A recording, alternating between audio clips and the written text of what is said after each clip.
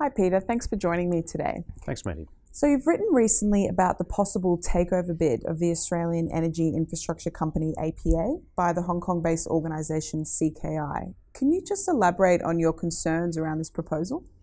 Well, this is something that might normally be expected only on the business pages of our Australian newspapers, but in fact, I think there is reason to be concerned about this because of the extent of ownership of Australian critical infrastructure, both gas and electricity, which would fall into the hands of one company. Um, and it's particularly relevant that it's a Hong Kong company, CKI Enterprises. So, with that in mind, can you take us through APA's existing gas networks in Australia and specifically what this would look like when combined with um, CKI's uh, existing investments in the country? Sure, it's quite a lengthy list, but this is what it amounts to.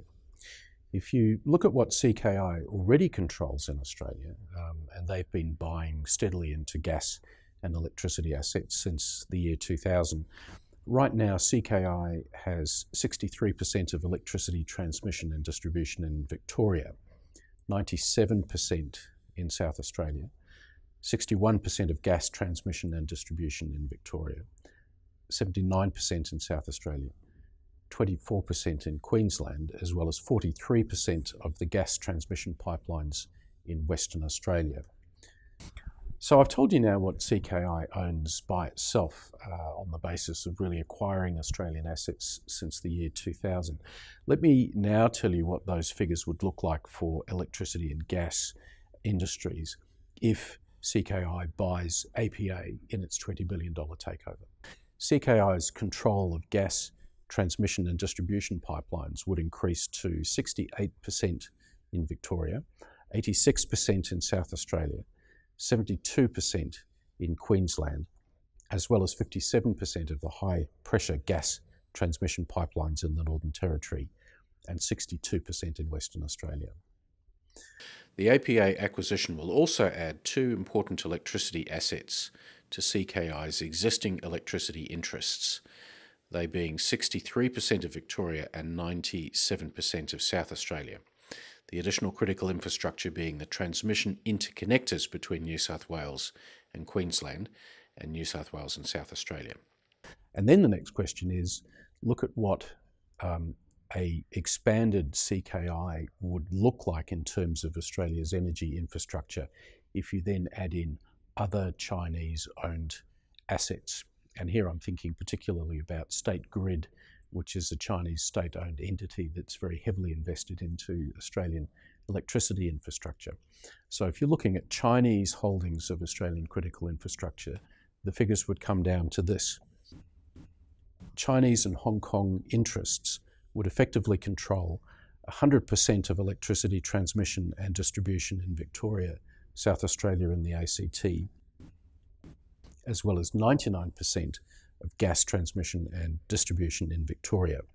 You would have 100% of gas transmission and distribution in New South Wales in the ACT, 86% in South Australia, 78% in Queensland, 74% of gas transmission in the Northern Territory, and 62% in Western Australia.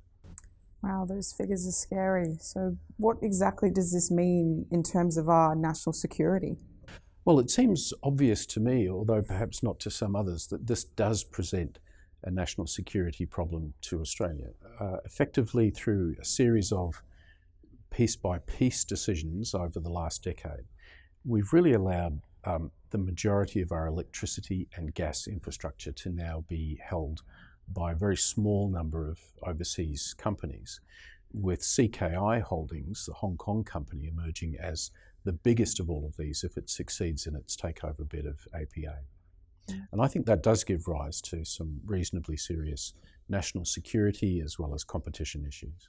It's important to understand that there's more to this than simply pipe infrastructure. The pipes just move gas around the country, which powers a great deal of industry and also Australian homes. And that's what makes this critical infrastructure. It's the direct link between what APA produces and how Australians heat uh, their houses and how they cook their food. Um, it's that important to all of us. It's also worth noting that gas will play in fast startup electricity generation an increasing role, which complements intermittent renewable generation to support the stability of the electricity grid. So, in fact, the interconnections between gas and electricity are becoming tighter and tighter in terms of the overall power picture in Australia. And that also points to the interconnection of ownership involving State Grid, a state owned uh, enterprise in mainland China, and CKI, uh, from Hong Kong. In fact, both entities are as invested into Australian gas infrastructure as they have been invested into Australia's electricity infrastructure. It's worth making the point that Australia is investing around $200 billion on new military hardware. That largely reflects a deteriorating strategic environment in the Asia Pacific region, and in part, in some way, has to be a reaction against China's unilateral grab for control of the South China Sea. This simply doesn't reconcile with a willingness to allow Chinese interests to control our energy networks. So, correct me if I'm wrong, you don't exactly need to own an asset for it to be hacked. So, in this context, does ownership really matter? I think ownership helps enormously if you're interested in being able to do cyber damage to critical infrastructure. And this is actually one of the things that's a little different from where we were, say, 10 years ago, where cyber enabled industrial control systems perhaps weren't as important in the management of critical infrastructure as they are now. So we've seen examples um, internationally of how um, foreign um, intelligence agencies have been able to hack into the electricity system in Ukraine. For example, the Russians hacked into uh, Ukrainian electricity distribution in December of 2015, shutting down electricity distribution over quite a large part of the country. So you don't have to own the asset.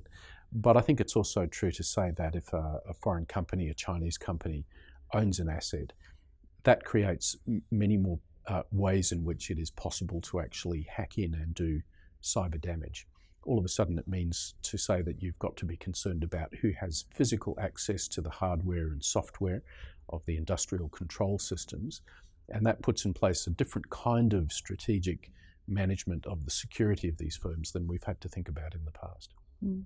But Hong Kong is an autonomous region, or does the PRC hold sway over business that goes on there? Well, this is really one of the tragedies for Hong Kong companies because for the better part of a century under British control, Hong Kong was operating largely as an autonomous province. Hong Kong has now been back under Chinese control for almost exactly 20 years. And what we're seeing is um, the, the increasing control of uh, the Communist Party and China's intelligence apparatus was uh, formerly largely autonomous territory. So now Hong Kong business understands that you know if they want to be successful in a Chinese um, system, um, it's Beijing they have to be listening to rather than the autonomous um, Hong Kong legislature. And I think this is um, the tragedy that um, CKI now faces is that it might well wish to be operating really as a, as a private business. But can any Chinese business or can any Hong Kong business say no if the Chinese intelligence services come knocking at their door? Um, the answer to that is no.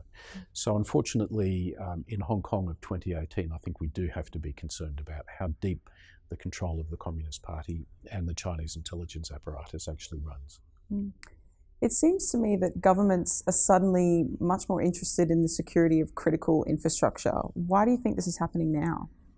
I think we've been too willing to turn a blind eye for a number of years to the significant sale of Australian critical infrastructure to overseas assets, and that has been a problem all of its own right. Um, the other factor is the fact that most of this critical infrastructure, electricity and gas, airports, ports, um, large parts of health infrastructure, are now essentially run over internet enabled industrial control systems. So um, these are systems that can be hacked. And we see foreign intelligence agencies actually looking at, well, how can we now exploit the vulnerabilities of internal infrastructure within a country as part of a general effort either to steal intellectual property, to engage in um, espionage by, by stealing big data, um, or indeed just to do damage to a country by being able to flick a switch and all of a sudden you shut different parts of the industrial system down. So it's that combination of the degree of foreign ownership, I think, has become probably too large a problem in Australia, and the risk that cyber systems has created a whole new set of attack surfaces for intelligence agencies and for military organisations. Mm. So, what do you think will happen next in terms of government decision making? Do you think that this uh, takeover bid will get the green light from government? Well, it seems that we're heading to a point where decisions will be taken within the next few weeks or so. And I think there are really two hurdles that need to be crossed if um, CKI is going to be successful in its takeover bid. Um, the first one is with the Australian Competition and Consumer Commission. And um, you know, I'm a strategist. I'm not a. I'm not an economist. But as I understand it, the job that will be in front of the ACCC is to ask if there is simply going to be too much control by one company over too large a part of the Australian economy. And on the face of it, it seems to me that's pretty clear as far as gas and electricity distribution is concerned. Then the, the next part of government, which will have uh, an opportunity to shape advice, is the Foreign Investment Review Board. And there, the FIRB is really being asked the question about are there national security considerations which might give rise to the government saying no to this particular proposal. My own view is FIRB should advise the Treasurer not to go ahead with the sale if the Australian Competition and Consumer uh, Commission um, approves it. Uh, which I also think is pretty unlikely. So there, there are two areas where I think Australian agencies will probably say to government, um, this is unwise, um, do not proceed. So, finally, just to finish up, do you think, in your opinion, is Australia alone in sort of dealing with this issue of foreign interference or no? Countries are going about dealing with foreign interference in different ways, particularly around foreign investment into critical infrastructure. Uh, the first point would be to say it wouldn't happen in China. There'd be no way a foreign company could get into um, gas or electricity in the way that um, Chinese companies have here in Australia. If you look at the Five Eyes countries, um, I think I see a pattern emerging over the last three or four years which says that countries are now getting much tougher. And really, the concern is about intellectual property theft, of which China is a very prominent um, candidate, um, but by no means the only one and secondly, the risk of having critical infrastructure hacked into. Um, and I think all around the world, what you see is a pattern of countries now getting harder and more and more strict in terms of who they will allow to uh, come into and operate inside their own economies. Mm. Scary pattern and one to keep our eyes on, I'm sure. Thank you so much for joining me this afternoon, Peter. Thanks, Bertie.